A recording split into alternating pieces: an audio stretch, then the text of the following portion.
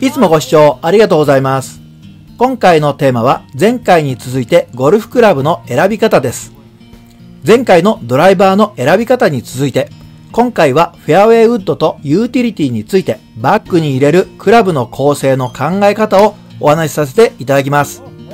よろしくお願いします。だいぶ前の動画で僕はバッグに入れる14本のクラブを飛ばすクラブ、つまりグリーンに近づけるクラブと止めるクラブ、つまりグリーンに乗せカップの近くで止めるクラブを分けて構成していると話したことがあります。いつもお話ししているようにゴルフはカップにボールを入れるターゲットスポーツです。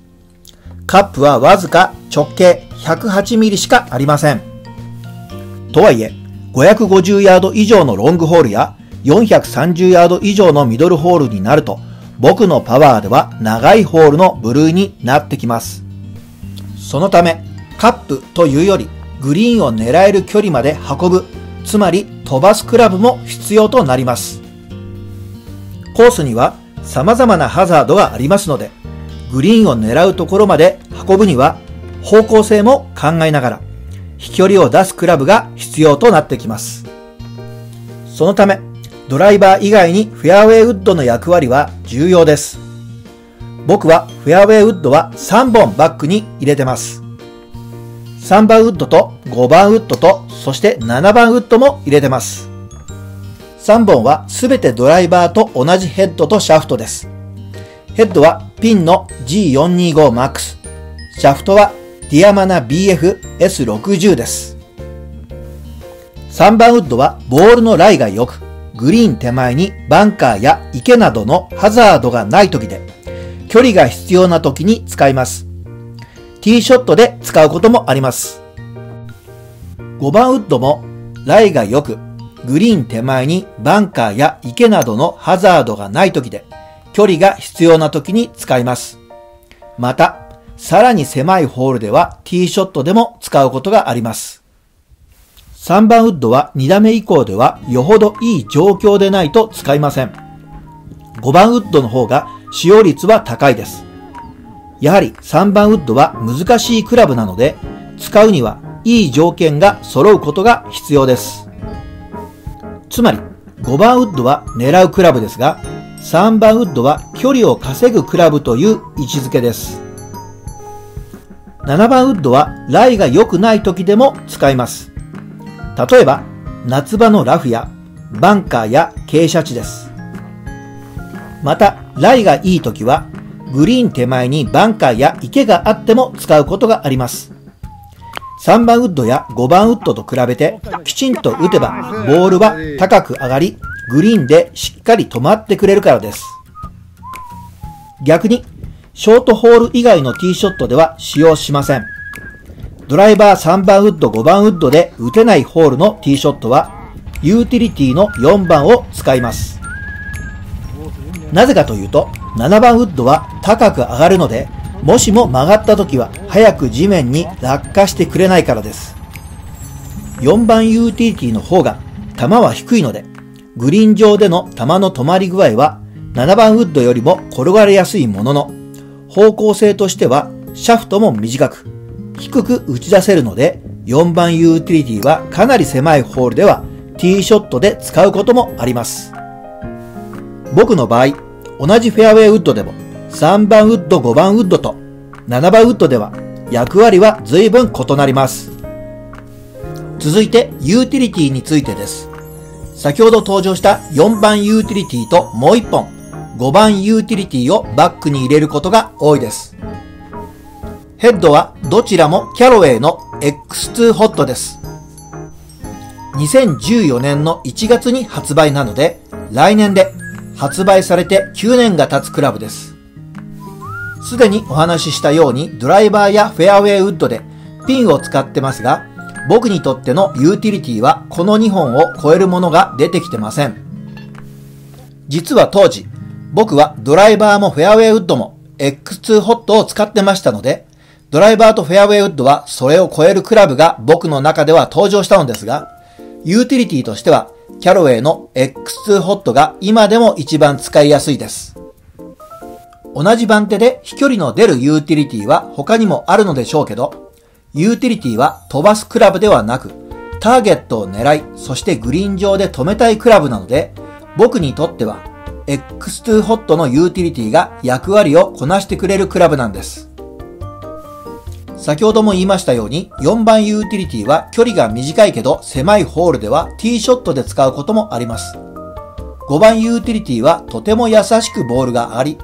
180ヤード飛んでくれてグリーンでもよく止まってくれます。シャフトはフェアウェイウッドと違ってカーボンではなくスチールシャフトです。NS Pro 950S を使ってます。実はアイアンもこのシャフトです。ここが大事なポイントなんですけど、僕の場合、ユーティリティは、フェアウェイウッドでなく、アイアンの流れでクラブをイメージしてます。人によっては、フェアウェイウッドの流れでユーティリティを使用されている方もいらっしゃいます。これは人によって違うところですが、フェアウェイウッドかアイアンのどちらかに流れを合わせるといいと思います。フェアウェイウッドとユーティリティの5本をまとめると、3番ウッドはグリーンに近づけるためのクラブです。5番ウッドと4番ユーティリティはグリーンに近づけながらもターゲットを狙うクラブです。7番ウッドと5番ユーティリティは完全にターゲットを狙うクラブです。ボールのライが良くない時、夏場のラフやバンカー、そしてグリーンの手前がバンカーや池でも使うクラブです。クラブの構成はプレースタイルやコースマネージメントによって異なります。大切なことは、飛ばしてグリーンに近づけるクラブとターゲットを狙うクラブを意識して構成することだと思います。続いて後半のスピリチュアルな話です。今回は僕の作成した動画のちょうど50作目になります。この動画を作成するにあたり、僕は僕のスピリットガイドから丁寧に作るようにとメッセージを受け取ってました。丁寧に作るとは動画の編集だけでなく、ゴルフのプレーをより丁寧にという意味もありました。そしてその心がけは日常生活においてもです。丁寧という言葉には気を配るとか、注意深くとか、配慮が行き届いているという意味があるようですが、その心がけの本質は愛情を込めてしっかりその対象と向き合うことだと考えてます。初回からずっと全ての動画において最後にテロップで今日も丁寧にお過ごしくださいと記してます。それはまさに僕自身の心がけでもあります。丁寧にゴルフをプレイする。丁寧に人に挨拶をする。丁寧に人の話を聞く。丁寧に食事をする。丁寧に一日を過ごす。丁寧に生きていく。丁寧を心がけることで、一瞬一瞬に心を込めて愛情を持って向き合うことにつながると思います。僕の母は84歳になりますが、